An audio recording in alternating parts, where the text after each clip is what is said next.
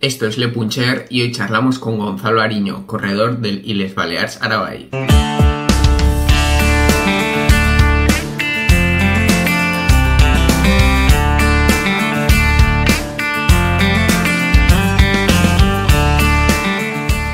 Bienvenidos a, un nuevo episodio de Le Puncher. En el día de hoy está con nosotros Gonzalo Ariño, ciclista del conjunto Iles Balears Arabay. ¿Qué tal, Gonzalo? ¿Cómo estás? ¿Cómo, cómo va ese inicio de temporada? Muy buenas. Pues nada, llevamos ya unos días de temporada y la verdad que se está haciendo un, comienzo bastante potente, la verdad. Sí, hemos corrido eh, ya las cinco de vuelta Comunidad Valenciana, las dos de Mallorca y las dos primeras eh, carreras ya suman nueve días de competición, ya prácticamente en febrero. Está un comienzo muy fuerte. ¿Qué tal? ¿Cómo te has visto? ¿Sufriendo o, te has encontrado bien? Sí, la verdad que sí, he sufrido bastante, la verdad. es un cambio muy grande y el cambio de categoría se intuía, pero bueno, obviamente hasta que no estás dentro no ves lo grande que es el cambio. Y mm, todo el mundo te lo dice. dime. ¿Qué has notado en el pelotón a nivel, a nivel de carrera del día a día? ¿Qué aspectos te han llamado así más la, más la atención respecto pues, a, años anteriores? Lo primero de todo, el nivel general. El nivel general del pelotón es brutal. O sea, no sé si no sé el público cómo entenderá de números, pero por ejemplo en amateur con 6 kilos puedes manejarte muy bien eh, disputando las carreras con, un nivel y con ese mismo nivel en, en profesional pues pues no ves la punta del pelotón, la verdad. O sea, no te puedes ni asomar prácticamente. Es un cambio muy grande. O sea, el nivel medio pasas de disputar las carreras a pues a intentar sobrevivir, básicamente. el, equipo como. Ah, bueno, el, equipo como os ha. Porque claro, al ser un equipo nuevo, ahora nos contarás un poco del de IEF Baleas Arabay. Mm. Eh, ¿qué, os ha pedido? Porque, bueno, como saben todos, el, inicio de temporada siempre es pues, eh, las carreras aquí nacionales en, Baleares, en, casa. Además, tú has corrido, como has dicho, en Comunidad Valenciana. Eh, tú eres un ciclista ondense aquí de, de Onda de Castellón, pues ¿Qué os ha pedido el equipo ahora estas carreras un poco así más locales? ¿Ha pedido fugas? ¿Ha pedido dejarse ver? No entiendo. Sí, somos, es un equipo, o sea, hay tres categorías, está el World Tour, los Pro Conti y nosotros, que somos Conti. Y, bueno, básicamente eh, Luis Max, que está como, como primero, como manda, que es el que más manda, el director, eh, nos dado mucha confianza, la verdad para ser una... Sabe que empezamos, la mayoría subimos desde, desde una... por cambio de wifi, eh, subimos desde amateur y, y, sabe que es un cambio muy grande. O sea, nos tiene, nos tiene en cuenta y, nos da mucha confianza. La primera carrera me fue bastante floja, la verdad, pero bueno, al ser la primera y me, me tranquilizó y me dio mucha confianza, la verdad, estar con él. Y bueno, el resto del proyecto es muy ilusionante, la verdad. Está Yes Balears y Arabay, que es una marca de café, que está muy bien, de Tony Valdecaneras, que es el, el gerente. Y la verdad que el proyecto es ilusionante, tiene mucha. O sea, es un proyecto bastante sólido, la verdad. Yo cuando estuve allí en Mallorca y vi un poco todo, digo, esto es serio, porque a veces es muy difícil sacar un equipo continental el Pro Continental ya un poco está más asentados, pero los equipos continentales, pues es como que estás, pero no estás. Es una categoría que Pro Conti ya puedes correr vuelta a España, eh, los continentales no podemos, entonces es como que hay que invertir mucho dinero, pero por ejemplo no tenemos la publicidad suficiente para salir de la lo, lo, que viene siendo correr la vuelta, que es lo que más beneficios da eh, de publicidad.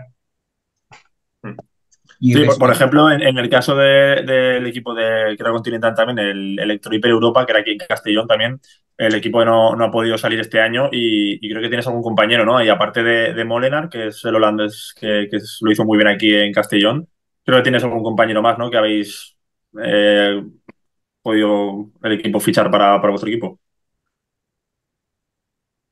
Sí, está Chema, que es murciano. Que un chico muy fuerte, la verdad, cogiendo, es muy listo cogiendo las fugas. Y luego está eh, Andrew, que es estadounidense, que él, ya estuvo en el Arabike. El Arabike tenía, siempre ha tenido equipo amateur y estuvo en el Arabike, en el cual ya ganó Vuelta a Navarra, que la verdad que a nivel amateur es una vuelta bastante importante.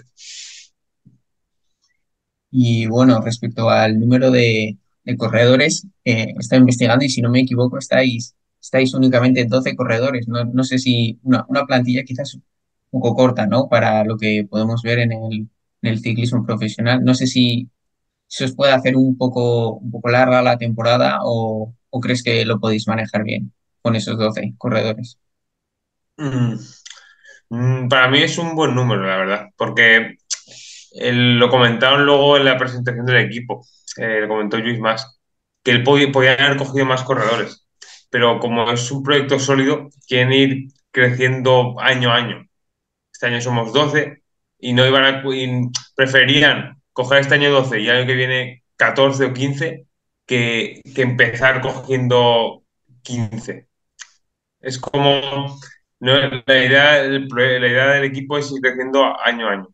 Y a mí entonces es un equipo que me parece bien. A ver, no tenemos plantilla para doblar, no podemos eh, correr, hacer dos competiciones al mismo tiempo, pero bueno, es que tampoco tenemos infraestructura ahora mismo para, doblar plantilla. nos faltarían buses, camiones y un poco de todo. Así que para mí es perfecto y además el calendario para todos es lo mejor, que es lo más importante.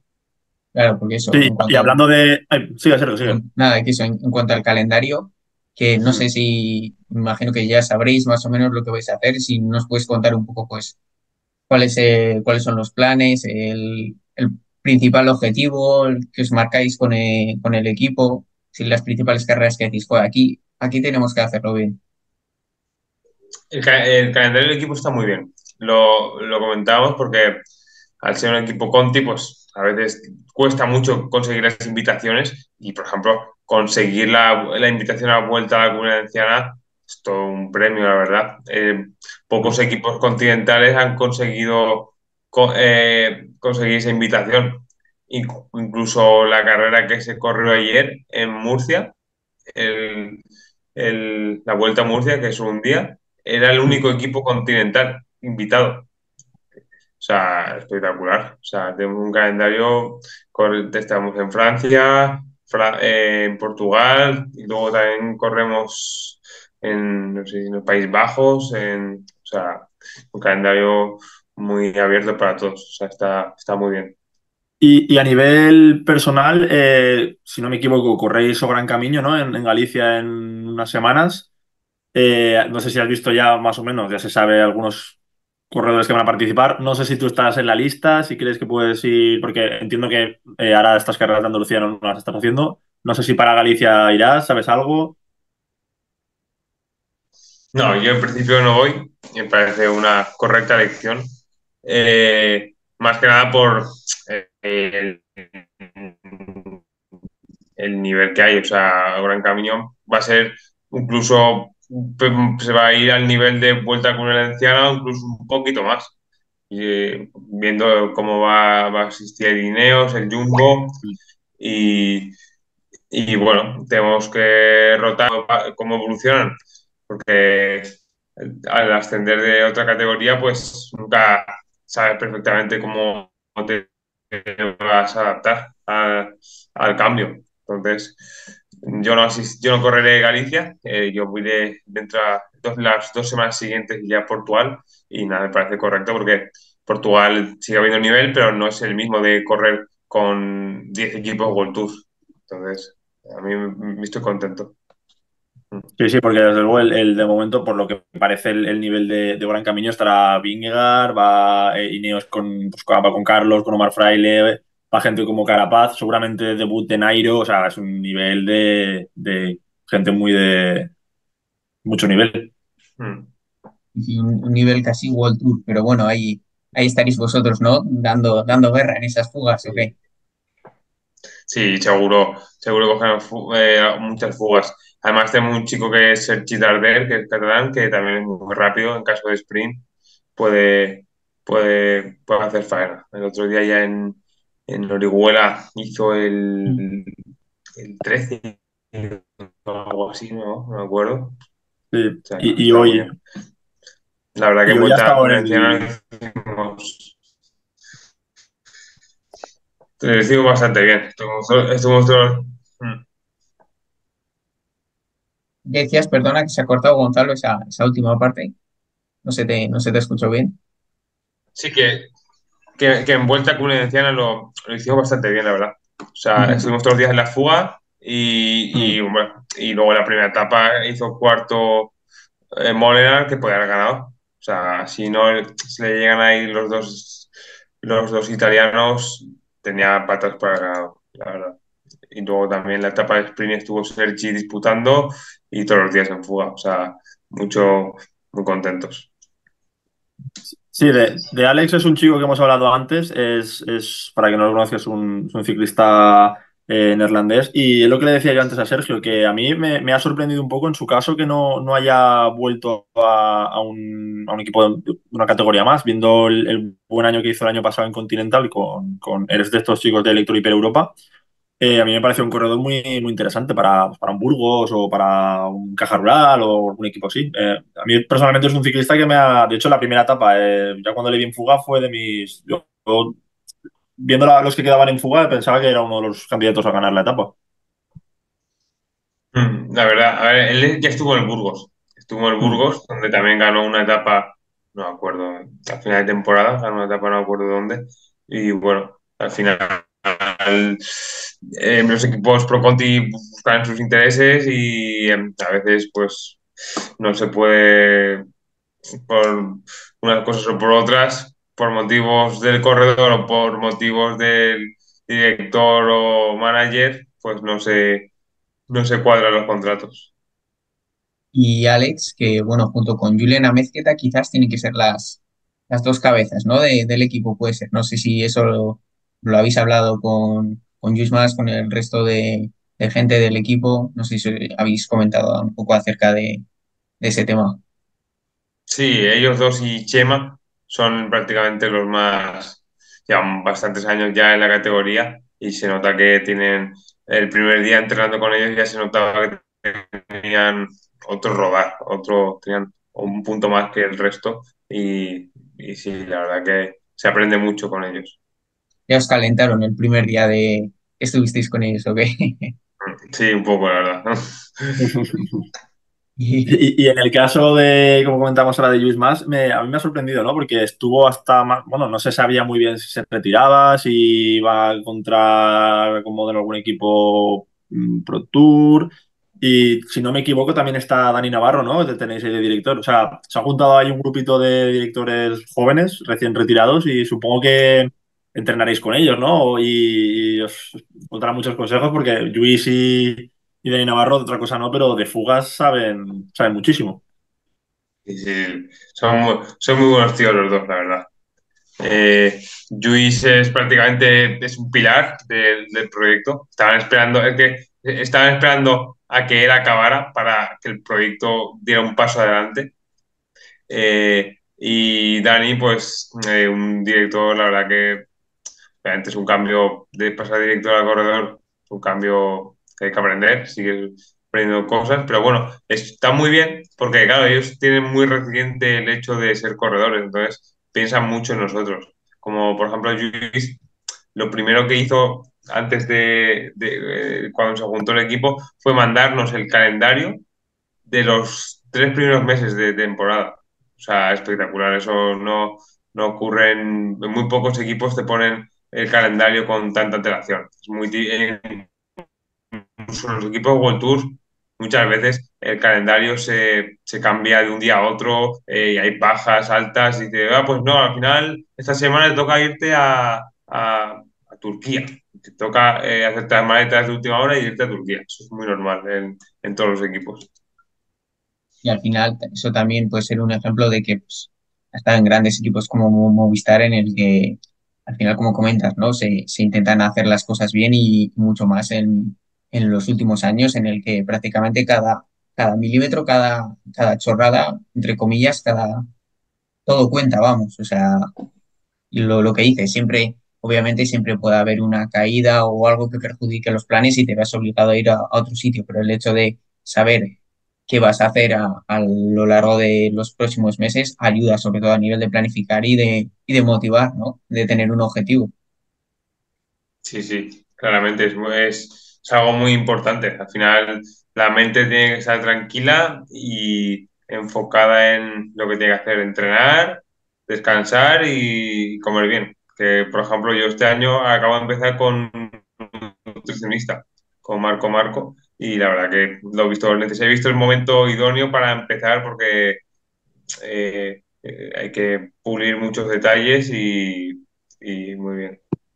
¿Y el, en este caso el nutricionista es parte del equipo o, o es, es, cosa tuya o cómo, cómo funciona? No, es, es, cosa mía, es cosa uh -huh. mía.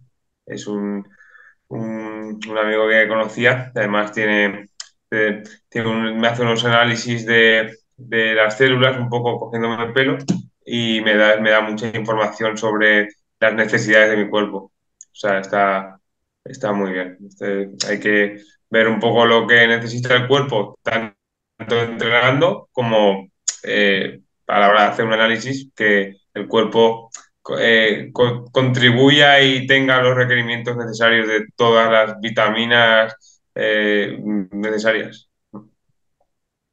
No sé, Unai, si quieres, si quieres comentar. Sí, que, quería, bueno, quería retroceder un poco, ¿no? Quería hacer una, una preguntita porque, bueno, como, como yo soy aquí de Benicassim y él es de Onda, me tenía curiosidad un poco por, por preguntarte qué sensaciones tuviste en, en la la clásica aquí de Castellón, Ruta de la Cerámica, que, que es, fue una de las primeras carreras del año, ¿no? Y, y, que acababa en Onda, ¿no? Que es, que es tu pueblo. Y preguntarte un poco, ¿no? A ver cómo se sentía, pues, eh, llegar a pues, un lugar, ¿no? Que, que es pues, donde naciste tú, lugar que habrás entrenado mucho. ¿Qué, qué sensaciones tenías? Como, porque una carrera profesional ya, ya es una carrera profesional y, imagino que tendrías pues nervios, ¿no? ¿Y, y cómo lo viste ese, ese, día, casi tu debut como profesional y encima llegar a, a, tu pueblo? Fue un cúmulo de sentimientos, la verdad, muy... Acabé el día perdido, no sabía ni, ni dónde estaba, acabé cuando llegué a Onda, a Meta. O sea, empecé pues, la salida era muy dura ahí en la coma, subía sí. a la coma nada, nada más salir. Y pues mucha gente un poco, incluso iba un poco agobiado, la verdad, porque al final tienes la charla, el, la presentación de equipos, el, tienes que eh, tomarte el café antes de salir, tienes que ponerte los dorsales, tienes ahí tus, tus cosas de precarrera y la gente pues, ah, Gonzalo, Gonzalo, y, y, no paraba de ver gente y la gente me saludaba, tenía que pararme, hablar, hablar con los amigos que habían venido a verme y la verdad que un poco, un poco agobiado, digo, que, que quiero, quiero salir ya. Y luego en meta igual, en meta eh, me pasaba más de lo mismo. Y ibas diciendo Bien. que como, como, sean todas las carreras así, madre de Dios, o que no, no llegó a final de temporada. Sí. Y también un poco, obviamente, y se juntó todo eso con, con la primera, prácticamente la primera carrera y, y, bueno, una vez estás en carrera ya cambias el chip, pero sí, un poco de, no era presión, porque yo nunca, nunca me meto presión. La, la, cabeza siempre la tengo tranquila, pero era un poco como. Es una sensación de. de. vamos, de un poco disperso. Ya, ya, de, de, de, no lograr concentrarte o que antes de, de, Mm. salir, ¿no? Sí, un poco. Eh, iba saliendo en carrera y digo, bueno, me están torturando, pero toda la gente que ha venido a verme merece por lo menos que, que lo dé todo y, y, y, ya está. Simplemente eso. ¿Tenías idea de intentar eh, escaparte ahí en la coma, eh, un terreno que te pueda ser favorable? O, o, imagino que sí, ¿no? Pero bueno, el, el, el, yo, vi, yo vi el final, no pude ver la carrera y, bueno, para quien no lo sepa, ganó Michael Matthews en un sprint reducido.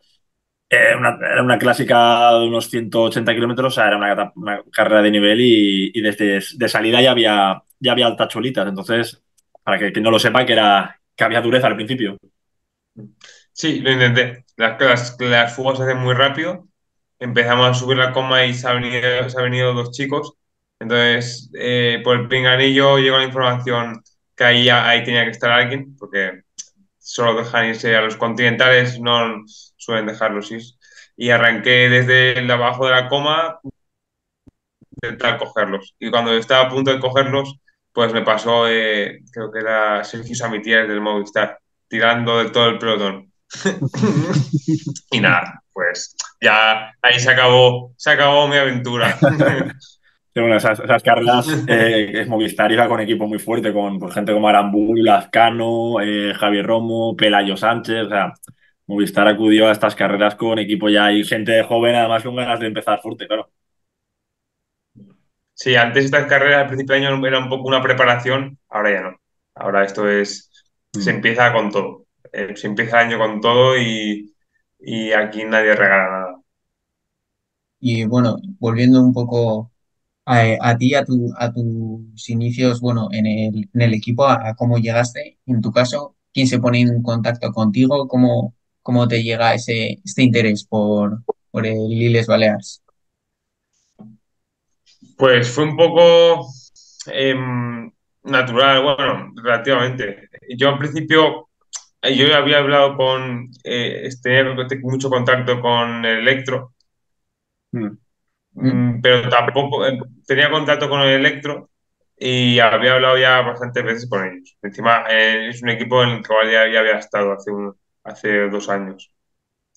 Y bueno, al final eh, Héctor me comentó que, que, el equipo no sabía si iba a seguir y al final pues realizaron, se realizó una, una absorción entre, entre, el, entre Electro y el en el cual se han quedado parte de la infraestructura y algunos patrocinadores.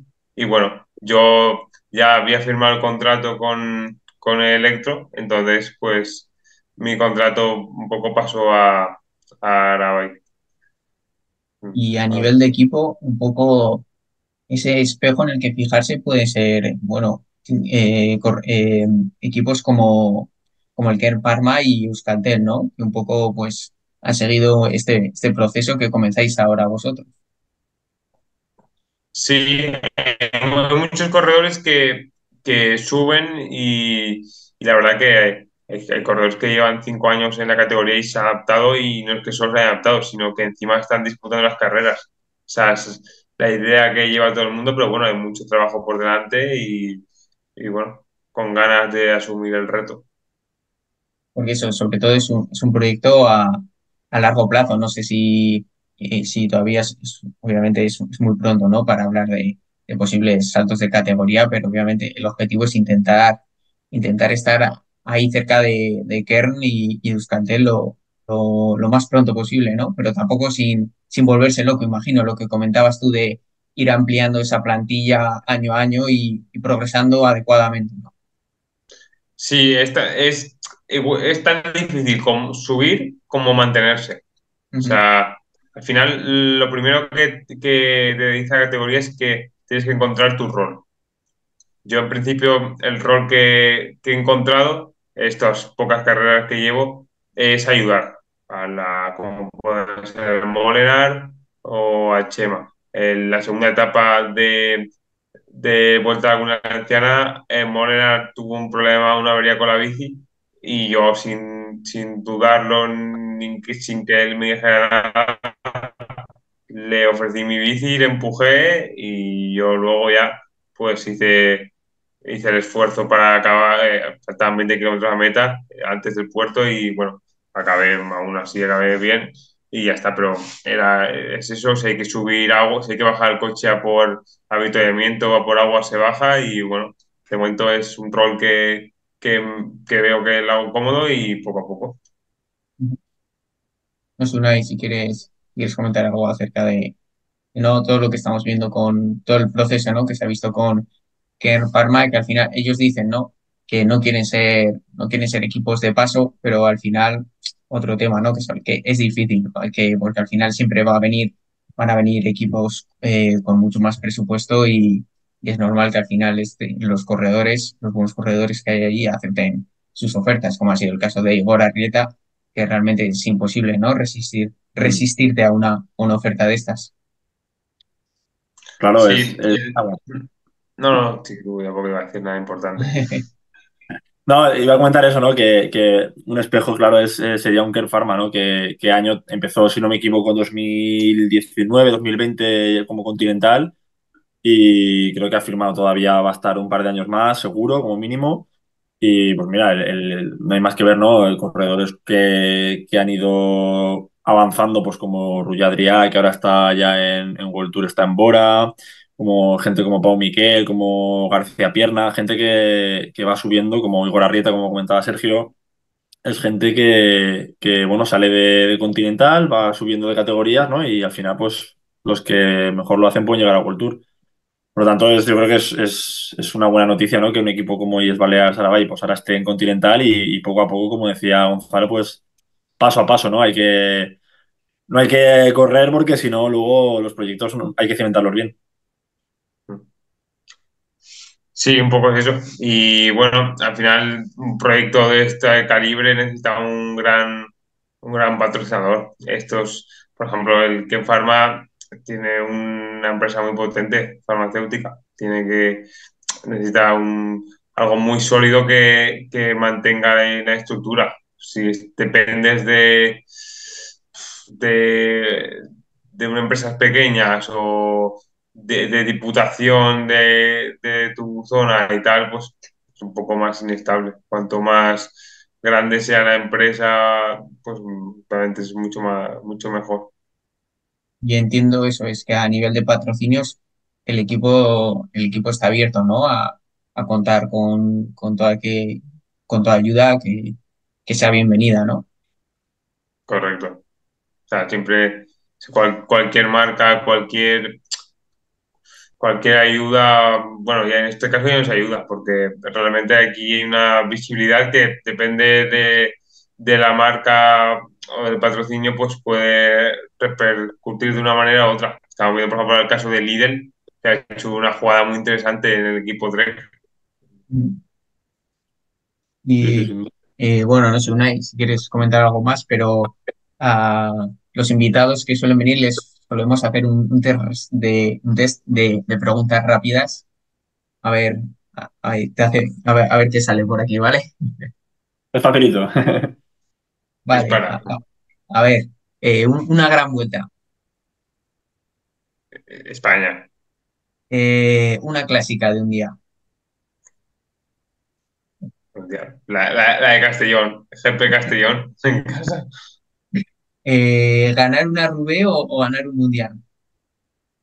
Un mundial. Y una, una Rubé no la ganaría. Eh, un, corredor referente. En tu infancia, ¿no? En mi infancia, eh, yo creo que Purito. ¿Y, ¿Y en la actualidad?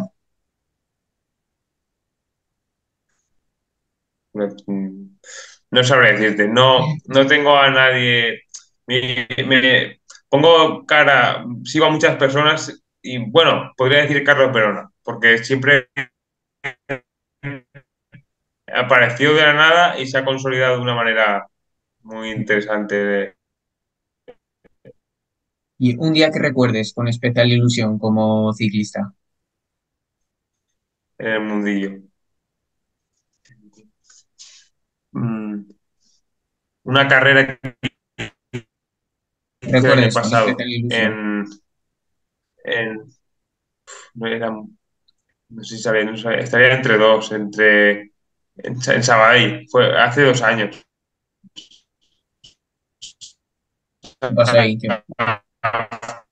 Una semana terrible en la que era sábado y domingo, el sábado acabé y el domingo acabé haciendo quinto de, de, empezar el día sin saber si iba a empezar a, si, salir a correr ese día, a acabar y hacer el quinto. ¿Y una, una marca de bicicletas? No soy, no soy muy exquisito, la verdad. Lo que me den, hay que adaptarse a todo. ¿Qué sirve? Y por último, si, si no fueras ciclista, ¿a qué te, a qué te dedicarías o a qué te gustaría dedicarte?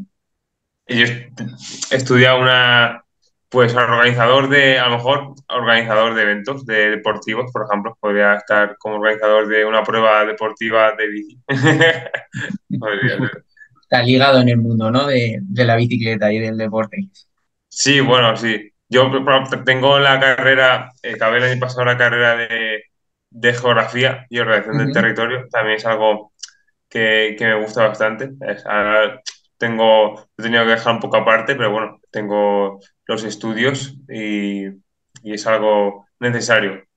Entonces, joder, que al final tienes, tienes ahí un, un colchón, ¿no? En el que apoyarte, un respaldo, que siempre, siempre está muy bien eso. Muy importante. Tener varias, no centrar todo, toda la cabeza y todo en el mismo saco, porque a veces realmente mucha gente eh, durante la, durante el ciclismo, pues al final eh, mentalmente tienes que estar muy sólido y a veces tener, estar ocupado, que tu mente esté ocupada en diferentes aspectos es muy interesante y muy útil. Eh, pues nada, un poco eso era todo. Ese era el cuestionario y nada, gracias por, por dedicarnos tu tiempo y nada, no te, te, te dejamos en paz, no te, no te robamos más, más minutos. No sé, Unai, si quieres decir algo para, para terminar, a Gonzalo. No, simplemente Nada, mm, desearle mucha suerte a Gonzalo, que, que vaya poco a poco aprendiendo y mejorando y conociendo la categoría y a ver si, si el equipo pues, pues crece, ¿no? Al igual que él y, y seguro que por suerte hay muchas carreras nacionales, también como ha dicho él va a correr fuera por Europa y, y a ver si, si le vemos eh, en algunas fugas. Pues nada, sí, eh, sí, es, Gonzalo, es mi objetivo. Pues nada, Gonzalo Ariño, corredor del Iles Balear Sarabay, muchas gracias por estar aquí y nada, que os vaya muy bien en, en la temporada y a ver si os vemos dentro de un poco en esa, en esa categoría Pro Team, ¿ok? Bueno, eso ya no depende de mí, pero sí, Bueno, ojalá. bueno, Gonzalo, muchas gracias. Nos vemos. Hasta luego. Muy bien.